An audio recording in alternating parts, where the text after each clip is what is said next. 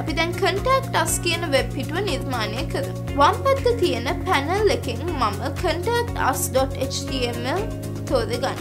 මේ වෙබ් පිටුවෙත් මුල් කොටස මම හදාගන්නේ හෝම් පේජ් එක වගේම තමයි. ඒ නිසා මම නැවතත් වම් පැත්ත තියෙන පැනල් එකෙන් මම homepage.html පිටුව තෝදගන්න. දැන් මේ පළවෙනි පේලියේ ඉඳලා නැවිගේෂන් බායක ඇඩ් කරලා අවසන් කරන දහතුන්වනි පේලිය වෙනකල් සිලෙක්ට් කරලා කොපි කරනවා. දැන් වම් පැත්ත තියෙන පැනල් එකෙන් මම contactus.html පිටුව තෝදගන්න. දැන් අපි කොපි කරගත්ත කෝඩ් එක මෙතන පේස්ට් කරන. දැන් අපි බලමු මේ කොපි කරගත්ත කෝඩ් වලින් අපේ කටක්ටස් පිටුවේ මුල් කොටස ක්‍රියේට් වෙලාද කියලා. දැන් කලින් ඕපන් කරපු ප්‍රවිව් වින්ඩෝ එක රිෆ්‍රෙෂ් අයිකන් එක මත කලික් කරන්න.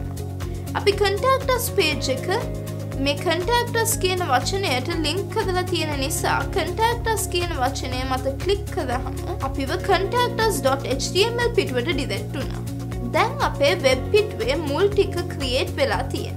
දැන් අපි මේ පිටුවේ ඉතිරි ටික හදාගම්. දැන් මේ සෙක්ෂන් ක්ලෝස් ටැග් එක ගාවින් එන්ටර් කරලා දැන් මෙතන 17 වෙනි පේලියට සෙක්ෂන් ටැග් එකක් ඕපන් කරන්න. දැන් සෙක්ෂන් ක්ලෝස් ටැග් එක ගාවින් දෙපාරක් එන්ටර් කරලා ක්ලෝස් ටැග් එක 16 වෙනි පේලියට ගෙනියන්න.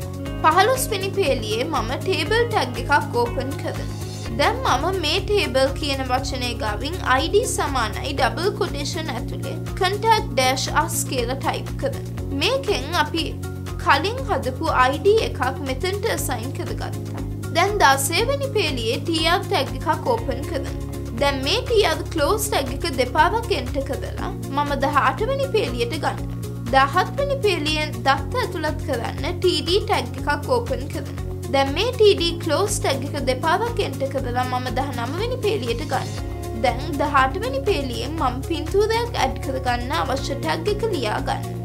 දැන් IMGSRස් හි සමානයි ඩබල් කොටේෂන් ඕපන් කරලා වම් පැත්ත මේ පැනල් එක තියෙන ඇසට් කලික් කරලා මේ තියෙන contact.jpg පින්තූරේ තෝද මේ එන ඉන්ටර්ෆේස් එකෙන් කොපි URL දීලා පින්තූරේ URL එක කොපි කරන. දැන් ආයත් contact.html කොටසට ඇවිත් මේ කොටේෂන් ඇතුළේ කොපි කරගත URL එක මෙතන පේස්ට් කරන්න කොටේෂන් එක ගාවින් පින්තූර ප්‍රමාණය වෙනස් කරන්න. With සමානයි ඩබල් කොටේෂන් ඇතුළේ 350px සෙමිකෝලන් කියලා ටයිප් කරලා ෆෝවර්ඩ් ස්ලෑෂ් එකයි ඇංගල් බ්‍රකට් එකයි යොදලා මේ ඉමේජ් ටැග් එක ක්ලෝස් කරන්න.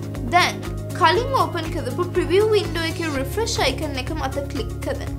දැන් අපේ වෙබ් පිටුවට අපි ඇතුළත් කරපු පින්තූරය ඇඩ් වෙලා තියෙන. අපි දැන් නැවතත් අපේ කෝඩ් එකට යමු. දැන් මම මෙතනින් තවත් TD ටැග් එකක් ඕපන් කරනවා. දැන් මේ TD ක්ලෝස් ටැග් එක දෙපාවක් එන්ටර් කරලා මම 22 වෙනි පේලියට ගන්න. දැන් 21 වෙනි පේලියෙන් මම div ටැග් එකක් ඇඩ් කරගන්න අවශ්‍ය ටැග් එක ලියා ගන්න.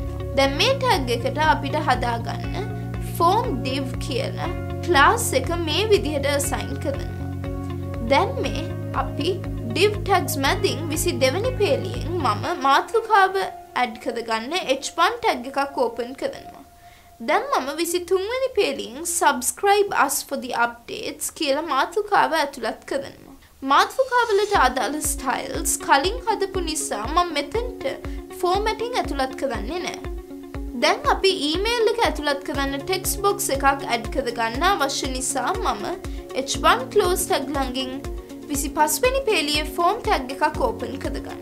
දැන් මේ ෆෝම් එකේ ෆිල් කරන ඩේට ඩිරෙක්් වෙන්න පේජ් එකක් අවශ්‍ය නිසා මං මෙතන ඇක්ෂන් සමානයි ඩබල් කොටේෂන් ඇතුළේ සක්සස්.html කියන පේජ් එක ලබා දෙන්න. දැන් ටෙක්ස් බොක්ස් එකක් ඇඩ් කරගන්න මම ෆෝම් ටැක්ස් දෙක මැද විසි හයවනි පේලියේ ඉන්පුට් ටැග් එක ඕපන් කරන. දැන් අපි මේ ටෙක්ස් බොක්ස් එක ලබා දෙන්නේ ඊමේල් එකක් ඇතුළත් කරන්න නිසා මම ටයිප් සමානයි ඩබල් කොටේෂන් ඇතුළේ ඊමේල් කියලා ලබා දෙන්න.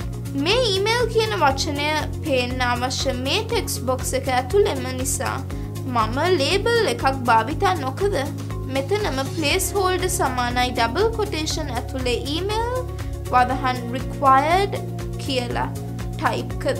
දැන් මෙතන ෆෝවර්ඩ් ස්ටෑශ් එක යොදලා මේ ටැග් එක මම කලෝස් කරන. දැන් අපි මෙතන බටන් එකක් ඇඩ් කර ගම් මම දැන් විසි හයවැනි පේලියේ එන්ට කදලා විසි හත්වැනි පේලියට යන්න. මේ පේලියේ බටන් ටැග් එකක් ඕපන් කද දැම් මේ බටන් එක අපි කලින් හදපු ක්ලාස් එකක් අසයින් කද ගන්න ක්ලාස් සමානයි ඩබල් කොටේෂන් ඇතුළේ ෆෝම් බටන් කියල ලබා දෙනවා දැන් විසි අටවැනි පේලියේ ඩිස්පලේ වෙන්න ඕන වක්ෂණය සබස්ක්‍රයිබ් කියල ටයිප් කද දැන් කලින් ඕපන් කදපු ප්‍රවිව් වින්ඩෝ එක රිෆ්‍රෙශ් අයිකන් එක මත කලික් කදන්න දැන් අපි ඇඩ් කදපු පින්තූරයත් ටෙක්ස් බොක්ස් එකත් බටන් එකත් ඩිස්පලේ වෙනවා. දැන් අපි මේ පිටුවටත් කලින් වගේම ෆුට එකක් දාගම්. ඒකට මම වම් පැත්තේ පැනල් එකේ homepage.html පිටුවට ගිහින් හැත්ත හයවැනි පේලිය ඉඳලා හැත්ත නමවැනි පේලිය වෙනකල් තියෙන ෆුට සෙක්ෂන් එක කොපි කදගෙන ඇවිත් contact.html පිටුවේ තිස් පස්වැනි පේලියේ තියෙන සෙක්ෂන් කලෝස් ටැග් එකට පහලින් පේස්ට කරන. දැන් අපි බලමු ෆුට එක ඇඩ් වුනාද කියලා. දැන් කලින් ඕපන් කරපු ප්‍රවිව් වින්ඩෝ එක රිෆ්‍රෙශ් අයිකන එක මත කලික් කරන. අපිට අවශ්‍ය විදිහට ෆුට එක වෙබ් පිටුවත ඇතුළත් වෙලා තියෙන.